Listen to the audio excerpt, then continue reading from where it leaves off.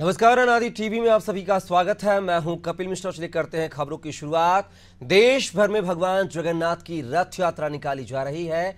रायपुर के गायत्री नगर स्थित भगवान जगन्नाथ के मंदिर में सुबह से ही भक्त दर्शन के लिए पहुँचने लगे। मुख्यमंत्री विष्णुदेव साय ने भी मंदिर पहुंचकर भगवान की पूजा अर्चना की। इस मौके पर कैबिनेट मंत्री रामविचार नेताम और सांसद ब्रजमोहन अग्रवाल मौजूद रहे। इस मंदिर में सालों से आयोजित होने वाले रथ यात्रा कार्यक्रम में मुख्यमंत्री और राज्यपाल पूजा करते हैं। आज जगदीश यात्रा है। रथ दूज का दिन है। आज हम लोगों का सौभाग्य है। यहाँ रायपुर जगन्नाथ मंदिर में महाप्रभु जगन्नाथ जी, बलभद्र स्वामी और माता सुभद्रा का विधिवत पूजा अर्चना किए हैं।